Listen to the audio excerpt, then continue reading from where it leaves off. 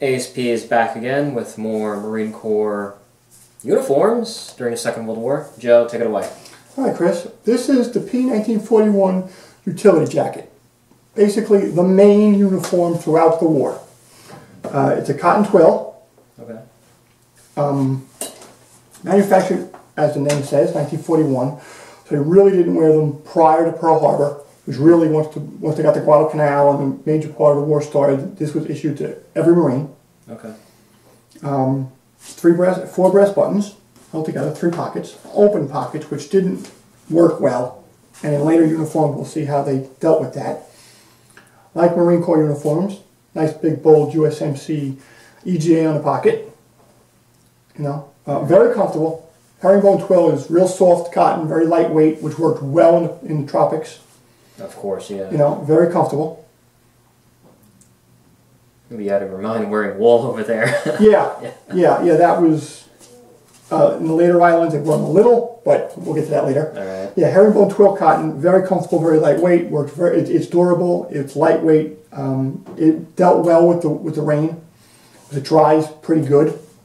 You know. And what are these? What's this marking? Okay, that, that is very special. That is an invasion marking. Once the Marines got aboard ship and headed out towards their next invasion, they would be told where they're going, and they would everything from from their uniforms to their tanks, literally, they would mark with what's called invasion marking, Okay. and that is was supposed to be code that in case you were killed or captured, the Japanese couldn't tell what units they were up against.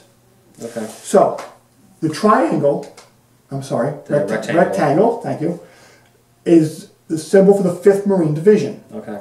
The first number would be your rank. Being, being that's a 1, he was a private. All right. 2 corporal, 3 sergeant, so on and so forth. The 8 stands for the 28th Marine Regiment. Okay. The 2 is the 2nd Battalion, and the 3 is for Easy Company, or E Company, meaning this was a rifle company. Okay. So it's one eight two three. Correct. Private, the 28th Marine, 2nd Battalion, Easy Company.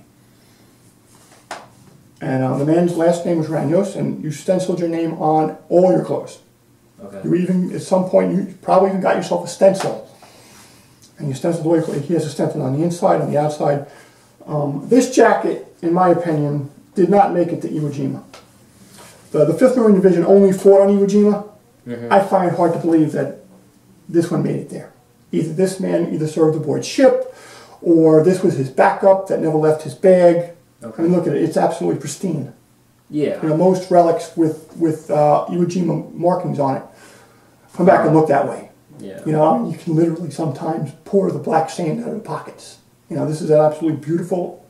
This um, is in pristine condition. Absolutely. Now, if you look at it, very interesting about this, and I hope the camera picks it up. It's two different shades of herringbone. This side's a little lighter than this side. They didn't care about collectors 70 years later and having pristine looking uniform. Yeah. The roll of twill ran out. They got the next one. They kept on sewing. You know, Oh wow. Okay. you'll see that in a lot of things, cartridge belts especially. You'll see different shades of pieces all sewn together. Very, very common.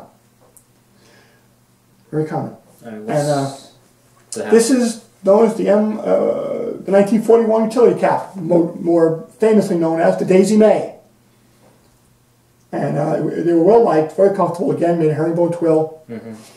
You're worn either way, you know. And uh, they, they were short lived. You know, they, they went to a ball cap later on. Yeah. But especially on the Guadalcanal and the southern Solomon Islands, you'll see a lot of Marines still wearing them. Absolutely. Okay. And then we have the 41 utility trousers. Again, made of a, if you see it's even a little different color, it's definitely lighter than the jacket. Yeah. Grab a side.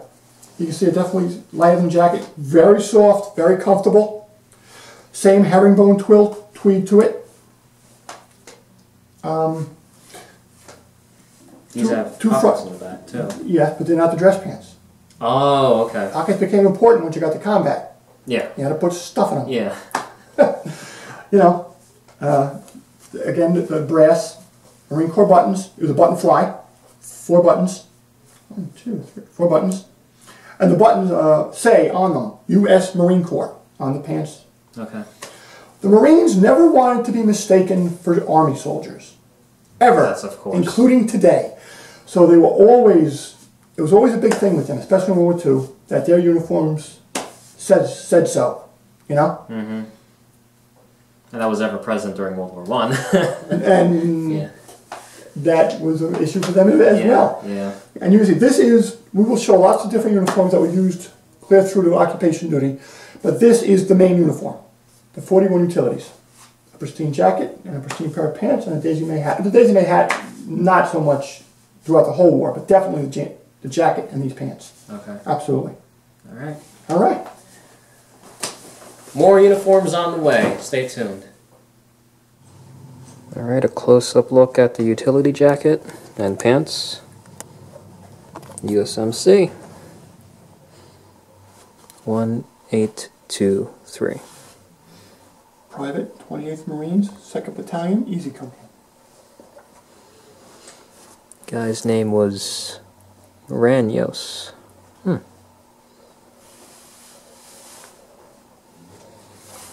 No po- uh, no buttons here. Hate to lose stuff in this utility uh, jacket. Now the pants. The front. Front pockets butt pocket, butt pocket.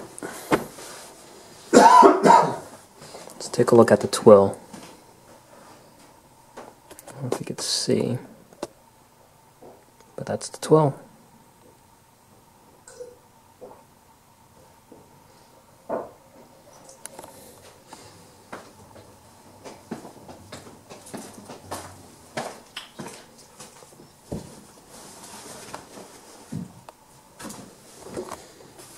And lastly, Marine Corps buttons.